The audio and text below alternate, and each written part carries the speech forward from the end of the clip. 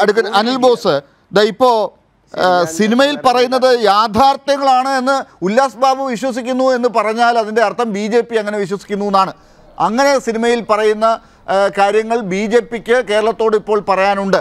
അത് കേരളത്തോട് പറയാനുള്ളതിനേക്കാൾ കേരളത്തിൽ ആരും അത് വിശ്വസിക്കില്ല. കേരളത്തിൽ ബി ജെ പിക്ക് അതുവഴി ഗുണമുണ്ടാകാൻ പോകുന്നില്ല എന്ന് ഇവിടെ പലരും ചൂണ്ടിക്കാട്ടി കഴിഞ്ഞു. അപ്പോൾ അതിനേക്കാൾ അപ്പുറം കേരളത്തിന് പുറത്തേക്കാണ് കേരളത്തെക്കുറിച്ചുള്ള ഈ കഥകൾ ഇപ്പോൾ പ്രചരിപ്പിക്കാൻ ബി ജെ പി ഉദ്ദേശിക്കുന്നത് എന്നാണ്. രാജ്യം ശ്രദ്ധിക്കുന്ന ഒരു സംസ്ഥാനമായി കേരളം മാറി അതിന്റെ പേരിൽ രാജ്യത്ത് മുഴുവൻ ബി ജെ പിക്ക് ഗുണമുണ്ടാക്കാൻ ഇപ്പോൾ ഇതുവഴിയൊക്കെ ശ്രമിച്ചാൽ നടക്കുമോ?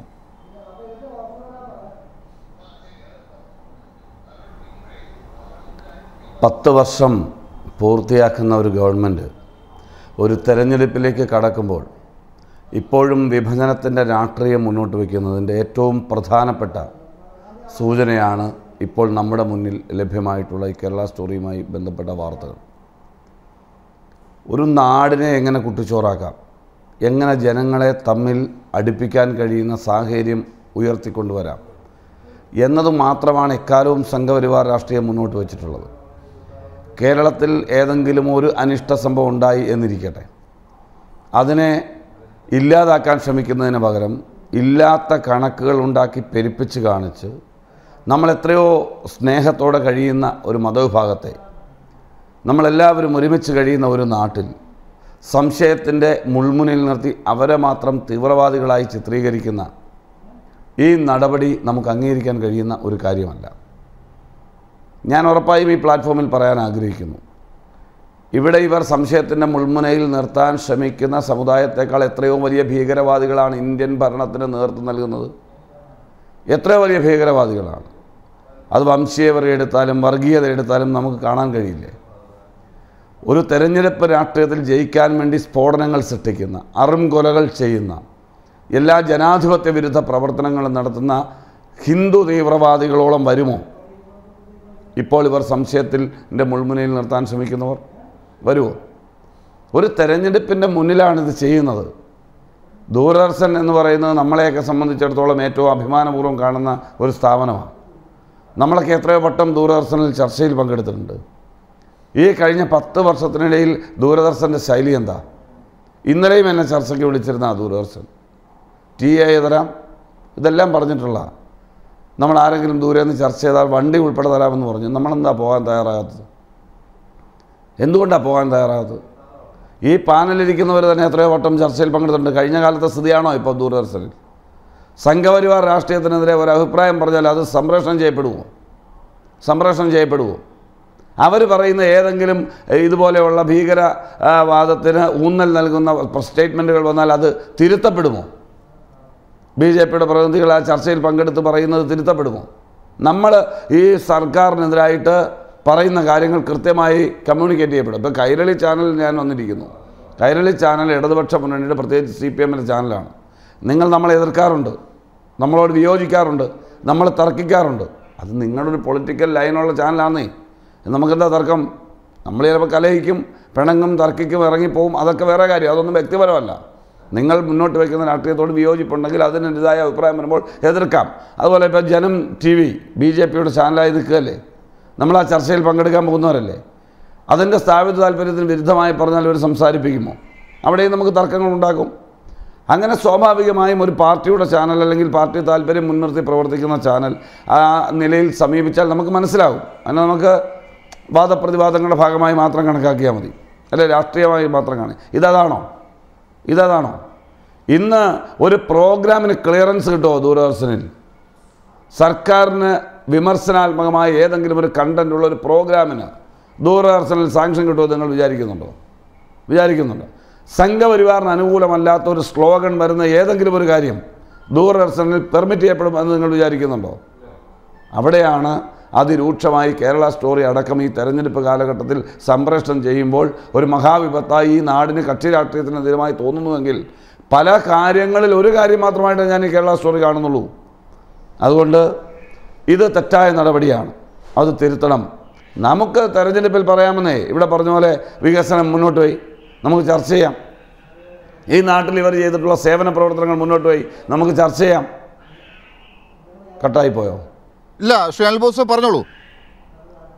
ഇടപെടാത്തതുകൊണ്ടാണ് താങ്കൾക്ക് സംശയം. ഇത് കട്ടായി പോയോന്ന് അത് ഞാൻ പറഞ്ഞത് നമുക്ക് വികസനം അല്ലല്ല ഇതിന്റെ ഇടയ്ക്ക് എനിക്കൊരു എറർ തോന്നി. അതുകൊണ്ടാണ്. ഞാൻ പറഞ്ഞത് ഇടപെടാതിരിക്കുന്നതിൽ എനിക്ക് സന്തോഷമുണ്ട്. എങ്കിൽ പോലും ഞാൻ പറയുകയാണ്. ഞാൻ പറയാൻ ആഗ്രഹിക്കുന്നത് ഒരു തെരഞ്ഞെടുപ്പല്ലേ? ഇപ്പം എല്ലാ സ്ഥാനാർത്ഥികളൊക്കെ ഏകദേശം നോമിനേഷൻ പ്രത്യേകിച്ച് കേരളത്തിൽ നോമിനേഷനൊക്കെ കൊടുത്തു കഴിഞ്ഞാൽ സാഹചര്യമാണ്. നമുക്ക് ചർച്ച ചെയ്യാം. ഇവർ പറയട്ടെ. ഇവരുടെ രാഷ്ട്രീയം എന്താ? വികസന രാഷ്ട്രീയം എന്താ? ഇവർ പറയട്ടെ. ഇവരിപ്പോഴും ജാതിയും മതവും പൗരത്വവും സി എയും ഒക്കെ പറയുന്നതല്ലാതെ മണിപ്പൂരും ഒക്കെ പറയുന്നതല്ല. ഇവർക്ക് പറയാനുള്ളത് പറയട്ടെ. ഇന്ത്യയിലെ തൊഴിലില്ലായ്മയെക്കുറിച്ച് ഒരു പ്രത്യേക ഡിബേറ്റിന് ഇവർ തയ്യാറുണ്ടോ? സ്വാതന്ത്ര്യാനന്തര ഭാരതത്തിൽ എൺപത്തിയൊന്ന് ശതമാനം വരുന്ന തൊഴിലില്ലായ്മ രാജ്യം നേരിട്ട ഈ കാലഘട്ടം പോലൊരു മറ്റൊരു കാലഘട്ടമുണ്ടോ? ചർച്ച ചെയ്യേണ്ടി വരും ശരി അപ്പൊ ഇതൊക്കെ പറയട്ടെ. പ്രതിവർഷം രണ്ട് കോടി ജോലി രാജ്യത്തെ ചെറുപ്പക്കാർ താങ്കളോട് ചോദിക്കാനുള്ളതാണ്. ഇങ്ങനെയൊക്കെ ചെയ്യുന്ന ഈ ബി ജെ പിയെ എങ്ങനെയാണ് താങ്കൾ രാഷ്ട്രീയ പാർട്ടി എതിർക്കുന്നത്? എങ്ങനെയാണ് അത് എതിർക്കേണ്ടത്? ഇതാ ഇപ്പോൾ ഈ ദൂരദർശനിൽ പോലും നിങ്ങളുടെയൊക്കെ കാലത്തുണ്ടായിരുന്ന അന്നത്തെ ഒരു അവസ്ഥയല്ല എന്ന് താങ്കൾ തന്നെ എണ്ണി എണ്ണി പറയുന്നുണ്ട്. പക്ഷേ അങ്ങനെയൊക്കെ ചെയ്യുമ്പോഴും ഇതൊരു ചർച്ചയിൽ ഇങ്ങനെ പറഞ്ഞു പോയാൽ മതിയോ? ഇതിനെങ്ങനെയാണ് രാഷ്ട്രീയമായി എതിർക്കേണ്ടത് എന്നതിനെക്കുറിച്ചൊരു കാഴ്ചപ്പാടുണ്ടോ കോൺഗ്രസ്സിന്? രാഷ്ട്രീയമായി നല്ല കാഴ്ചപ്പാടുണ്ട്. നല്ല കാഴ്ചപ്പാടുണ്ട്. നല്ല കാഴ്ചപ്പാടുള്ളത് കൊണ്ടാണ് ഈ ഏഴ് ഘട്ടങ്ങളായി നടക്കുന്ന ലോക്സഭാ തെരഞ്ഞെടുപ്പിൽ ഇതുവരെ കോൺഗ്രസ് പാർട്ടി നാനൂറ്റി ഇരുപത് സീറ്റിൽ മത്സരിച്ചിരുന്ന പാർട്ടി ഇരുന്നൂറ്റി മുപ്പത്തി ഒന്ന് സീറ്റിലേ മത്സരിക്കുന്നുള്ളൂ ഞങ്ങളുടെ പരിമിതികൾ ഞങ്ങളുടെ പോരായ്മകൾ. ഈ പറയുന്ന സംഘപരിവാർ രാഷ്ട്രീയത്തെ എതിർക്കാൻ ഇന്നത്തെ സാഹചര്യത്തിൽ ഞങ്ങൾക്ക് ഒറ്റയ്ക്ക് പോരാട്ടം നടത്തിയാൽ പോരാ എന്ന പക്വതയാർന്ന തീരുമാനം തിരിച്ചറിവോടുകൂടി ഞങ്ങൾ എടുത്തിട്ടുണ്ട്. അതുകൊണ്ടാണെന്ന് സി പി എമ്മിന് കോൺഗ്രസ് പാർട്ടിയുടെ കോൺഗ്രസ് പാർട്ടിയുടെ സിറ്റിംഗ് എം പിമാരുള്ള ഏഴ് സീറ്റ് സി പി എം മത്സരിക്കുകയാണ് ഈ തെരഞ്ഞെടുപ്പിൽ. ഞങ്ങൾ സി പി എമ്മുമായിട്ട് അത്യധികം വൈരാഗ്യ ബുദ്ധിയോടുകൂടി കേരളത്തിൽ പ്രവർത്തിക്കുമ്പോഴും കേരളത്തിന് പുറത്ത് ഏഴ് സിറ്റിംഗ് സീറ്റ് എന്തുകൊണ്ടാണ് സി പി എമ്മിന് കൊടുത്തത്? രാജ്യം ആഗ്രഹിക്കുന്ന ഒരു ഇടതുപക്ഷ ലൈനുണ്ട്. രാജ്യത്തെ ഒരു മതേതര നിലപാടുണ്ട്. രാജ്യത്തെ ഒരു സോഷ്യലിസ്റ്റ് കാഴ്ചപ്പാടുണ്ട്. ആ കാഴ്ചപ്പാടിലേക്ക് യോജിക്കാൻ കഴിയുന്ന ശക്തികൾ യോജിച്ച് നിൽക്കണം. കാരണം ഇവിടെ ഫാസിസ്റ്റ് വിരുദ്ധ രാഷ്ട്രീയം ഉയർന്നു വരണം. അതുകൊണ്ടാണ് ആർ ജെ ഡിയും ശിവസേനയും എൻ സി പിയും അതുപോലെ സമാജ്വാദി പാർട്ടിയും ആം ആദ്മി പാർട്ടിയും കോൺഗ്രസും എല്ലാം കൈകോർക്കുന്നത്. സി പി എമ്മും സി പി ഐയും സി പി ഐ എം എല്ലും അടക്കം കൈകോർക്കുന്നത് ഈ രാജ്യത്ത് വ്യത്യസ്തമായ പ്രത്യയശാസ്ത്രങ്ങൾ നമ്മൾ മുന്നോട്ട് വയ്ക്കുമ്പോഴും രാജ്യം ആഗ്രഹിക്കുന്നത് ഈ സംഘപരിവാർ രാഷ്ട്രീയത്തെ അടിച്ച് പുറത്താക്കണമെന്നാണ്. ശരി അതുകൊണ്ടാണ് ബി ജെ പിയെ എതിർക്കാൻ എന്തൊക്കെയാണ് കോൺഗ്രസ് ചെയ്യുന്നതെന്നൊരു ചോദ്യം ഈ ചർച്ചയിലും എനിക്കൊന്ന് ചോദിക്കേണ്ടി വരും. അത് രാഹുൽ ഗാന്ധി വയനാട്ടിൽ മത്സരിക്കുന്നതിനെ കുറിച്ചുള്ള ഒരു ചോദ്യം തന്നെയാകും. അതുകൊണ്ടാണ് ബി ജെ പി ഒരുപക്ഷെ കൂടുതൽ ശ്രദ്ധിക്കുന്നത് കേരളത്തെ കേരളത്തിലുള്ള ദൃശ്യങ്ങൾ അവർ വടക്കേന്ത്യയിൽ പ്രചരിപ്പിക്കാൻ ശ്രമിക്കുന്നത്. അതുകൊണ്ട് തന്നെ നിങ്ങൾക്ക് ഒരുപക്ഷെ നിങ്ങളുടെ പ്രകടനങ്ങളിൽ റോഡ് ഷോകളിൽ കൊടി പോലും മാറ്റി വെക്കേണ്ടി വരുന്നത് ഞാൻ കളിയാക്കുന്നതല്ല ശ്രീ അനിൽ ബോസ്. അങ്ങനെ കാണരുത് ഒരു ചോദ്യമാണ് പ്രധാനപ്പെട്ട ഒരു ചോദ്യമാണ്. അതുകൊണ്ട് ആ ഗൗരവത്തിൽ തന്നെ താങ്കൾ അതിനോട് പ്രതികരിക്കണം ഒരു ഉത്തരം തരണം.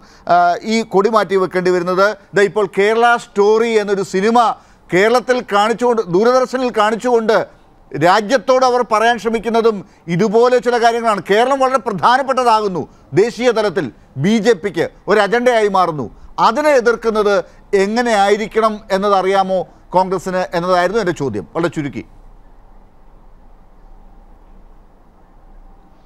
അതിനെ എതിർക്കുന്നത് വളരെ കൃത്യമായി അറിയാവുന്നത് കൊണ്ടാണ് ഞങ്ങളെ എതിർക്കുന്ന സി പി എം കേരളത്തിന് പുറത്ത് കോൺഗ്രസ് പാർട്ടിയുടെ കൊടി പിടിച്ചുകൊണ്ടും രാഹുൽ ഗാന്ധിയുടെ പടം വെച്ചുകൊണ്ട് വോട്ട് ചെയ്യുന്നത്. അതിനുവേണ്ടി പ്രവർത്തിക്കുന്നത് പ്രചാരണ പ്രവർത്തനങ്ങളിൽ പൊതുസമൂഹത്തെ അഭിമുഖീകരിക്കുന്നത്. അതുപോലെ തന്നെ നിങ്ങൾ ശ്രദ്ധിച്ചു നോക്കൂ ഇന്ത്യ സഖ്യം ഇവിടെ രൂപപ്പെട്ടു. മുപ്പത്തിയെട്ടോളം വരുന്ന പാർട്ടികളുള്ള ബി ജെ പിയുടെ മുന്നണിയെ എതിർക്കാൻ ഇരുപത്തിയെട്ട് പാർട്ടികളുടെ മുന്നണി ഇവിടെ ഉണ്ടായി. വ്യത്യസ്തമായ പ്രത്യയശാസ്ത്രങ്ങളാണ് ഇവിടെ പഞ്ചാബ് പതിമൂന്ന് ലോക്സഭാ സീറ്റുള്ള പഞ്ചാബിൽ ആം ആദ്മിയും കോൺഗ്രസും തമ്മിലാണ് മത്സരിക്കുന്നത്. നമ്മൾ ഇന്ത്യ സഖ്യമാണ് എന്തുകൊണ്ടാണ് അങ്ങനെ മത്സരിക്കുന്നത്? എന്തുകൊണ്ടാണ് അങ്ങനെ മത്സരിക്കുന്നത്? അവിടെ ബി ജെ പിക്ക് സ്പേസ് ഇല്ലാത്തൊരു സ്റ്റേറ്റിൽ നമ്മൾ യോജിച്ച് മത്സരിച്ചാൽ അവിടെ ഇല്ലാത്ത സ്പേസ് ഉണ്ടാക്കി കൊടുക്കാതിരിക്കാനാണ്. അതാണ് ജാഗ്രവത്തായ തീരുമാനം എന്ന് ഞാൻ പറയുന്നത്. ജാഗ്രവത്തായ തീരുമാനം. എന്നാൽ അതേസമയം സി പി എമ്മും കോൺഗ്രസും കൂടി യോജിച്ചാണല്ലോ തമിഴ്നാട്ടിലും ബംഗാളിലും ബീഹാറിലും ഒക്കെ മത്സരിക്കുന്നത്. അല്ലേ? അങ്ങനെയല്ലേ മത്സരിക്കുന്നത്? രാജസ്ഥാനിൽ രാജസ്ഥാനിൽ ഈ പറയുന്ന മല്ലികാർജുൻ ഖാർഗെയും ആലപ്പുഴയിൽ മത്സരിക്കുന്ന ശ്രീ കെ സി വേണുഗോപാലിന്റെ അടക്കം പടം വെച്ചിട്ടാണല്ലോ സി പി എമ്മിന്റെ സ്ഥാനാർത്ഥി അവിടുത്തെ സംസ്ഥാന സെക്രട്ടറി മത്സരിക്കുന്നത്. അപ്പം നമ്മൾ ഓരോ സ്റ്റേറ്റിലും എന്താണോ തെരഞ്ഞെടുപ്പ് രാഷ്ട്രീയത്തിൽ ഈ ബി ജെ പി ശക്തികളെ ഒഴിവാക്കാൻ പോരായ്മകൾ ഉണ്ടെങ്കിൽ ആ പോരായ്മകൾ പരിഹരിക്കാൻ യോജിക്കാൻ കഴിയാത്തവരെ യോജിപ്പിച്ച് കൊണ്ടുപോകുന്ന ഒരു രാഷ്ട്രീയം ഇന്ത്യയിൽ ഇന്ത്യ സഖ്യം മുന്നോട്ട് വയ്ക്കുന്നുണ്ട് ആ ഇന്ത്യ സഖ്യത്തിന്റെ നിലപാടെന്ന് പറയുന്നത് എല്ലാ പാർട്ടികളുടെയും കോൺഗ്രസിന്റെ മാത്രമല്ല എല്ലാവരുടെയും വിട്ടുവീഴ്ചാപരമായ നിലപാട് രാജ്യം നേരിടുന്ന ഒരു പൊതുവിപത്തിനെ അതിജീവിക്കാനാണ് നേരിടാനാണ്. അതിൽ ഒന്നാം ഘട്ടത്തിൽ തന്നെ ഇന്ത്യ സഖ്യം വിജയിച്ചിട്ടുണ്ട്. വളരെ കൃത്യമായി ഞാൻ പറയാൻ ആഗ്രഹിക്കുന്നു ഇരുന്നൂറ്റി എഴുപത്തി മൂന്ന് സീറ്റാണ് ഒരു ഗവൺമെന്റ് ഉണ്ടാക്കാൻ വേണ്ടത്. ഇവിടെ ബി ജെ പിക്ക് ഒറ്റയ്ക്ക് മുന്നൂറ്റി മൂന്നുണ്ട് സഖ്യം വരുമ്പോൾ മുന്നൂറ്റി അൻപത്തി മൂന്നുണ്ട് ഈ മുന്നണിയെ എതിർക്കുന്ന നൂറ്റി തൊണ്ണൂറ് പേരാണ് ഇന്ത്യൻ പാർലമെന്റിൽ ഉള്ളത്. ഒരു പ്ലാറ്റ്ഫോമിൽ നിൽക്കുന്നത് പ്രതിപക്ഷ പാർട്ടികൾ എന്നുള്ള നിലയിൽ. എൺപത്തിമൂന്ന് സീറ്റൂടെ കിട്ടിയാൽ ഈ ഗവൺമെന്റ് അട്ടിമറിക്കാം ലാലേ. എൺപത്തിമൂന്ന് സീറ്റ് മതി. ഒരു നൂറ് സീറ്റ് നൂറ്റി ഇരുപത് സീറ്റ് ഉണ്ടെങ്കിൽ സുരക്ഷിത ഭരണം ഈ രാജ്യത്ത് സമ്മാനിക്കാൻ കഴിയും. അത് സമ്മാനിക്കാൻ കഴിയുന്ന എത്രമാത്രം രാഷ്ട്രീയം ഈ എളുപ്പമാണ് എന്നുള്ളതാണ് അത് സ്റ്റേറ്റ് വൈസ് നേടിയെടുക്കണമെങ്കിൽ ഉള്ള രാഷ്ട്രീയം എന്നതാണ് നമ്മൾ ചർച്ച ചെയ്യുന്നത്.